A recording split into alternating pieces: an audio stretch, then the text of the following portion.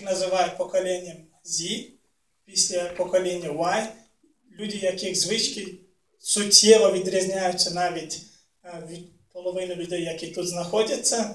І от один із е, індикаторів, чим вони користуються в більшості, да, це visual first, е, тобто вони візуальним контентом дуже добре взаємодіють та дуже багато використовують телефони, планшети, маленькі гаджети. Тобто вони не є е, сторонниками якихось газет або там великих теле- теле- телевізорів. Через це Guardian, розуміючи про це, почав інвестувати і вибудував свою найкращу аплікашку, яка визнана в Європі, згодом розповім. І вони запустили це у 2017 році. І зараз їх аплікашка має аплікашка має 4 мільярдів додатків. Е, Додатку має переглядів.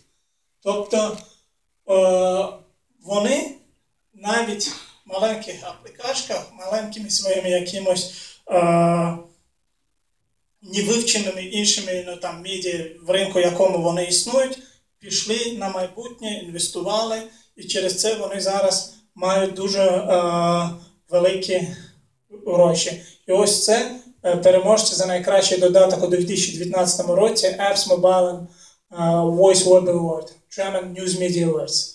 So, е, вибачте, так, е, воно є найкращим е, додатком серед медіа, які приймали участь у 2019 році.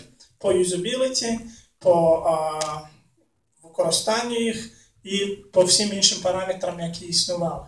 Тобто я для себе е, зробив три уроки. Е, Від цього, коли я вивчав модель Guardian. Перше, це починати з прохання про допомогу, а потім додавати та розвивати пропозиції. Якщо ми повернемось на самий початок, е, вони почали просити гроші ось тут. Тільки просто щоб люди підтримували їхню діяльність. І потім вони вже почали придумувати якісь спеціальні глибокі спів, співпрацю з аудиторією. Другий це цінності. Це те, що Guardian продає найбільше. От ці 5 тисяч, 1200 я не задарма вам показував, тому що там ніяких, нема ніяких там матеріальних, а, а, матеріальної основи в цих пропозиціях. Там є найбільше це глибока долученість до діяльності самого бренду. Вони кажуть, що ми незалежні медіа, ми медіа, які турбуються про суспільно важливу тематику. Ми хочемо бути незалежними і працювати в ваших інтересах. І через це ми вам пропонуємо бути частиною змін в нашому суспільстві. Це друге. Третє, е, як коли вивчаєш, в них все дуже-дуже легко пояснено і оформлено для глядачів. Тобто люди, які користуються їх послугами або споживають їх контент, щоб вони розуміли все, що від них хоче Guardian. Наступне. Washington Post. Це мій любимий кейс, тому що вони є е, завжди першими, першим об'єктом нападків президента Трампа, якого я не дуже люблю, тому що я вважаю, що він є одним із найвеликих, е, найважчих і потужніших ворогів медіа у світі.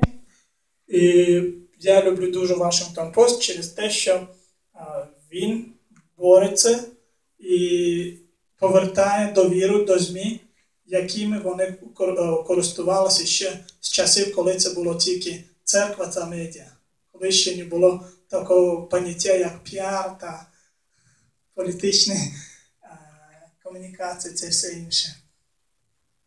Що вони роблять? Е, Вони тільки в- основному заробляють в digital і через те, що вони в digital дуже багато грошей вклали, і в цьому напрямку вони бачать майбутнє для себе. Перше е, реклама, технології і підписки. Це а, графік а, доходів Washington Post. Тут нема цифр, тому що це конфіденційна інформація, якою не можна там ділитись. Але якщо подивимось, у 2013 році Washington Post продали власники, якими їм володіли там десятиріччями, через те, що вони не могли його утримувати за гроші, а це був їх основний бізнес, ніяк як заведено в Україні там сайт бізнес, да, і коли в тебе є основний заробіток, і через це ти там підтримуєш медіа для якихось там а, політичних або а, бізнесових а, питань. І вони продали це, купив Джо Безос. Ця людина вже десь два тижні а, є знову самою найбагатшою людиною у світі. А, ми його знаємо як власника Amazon. Це його основний бізнес.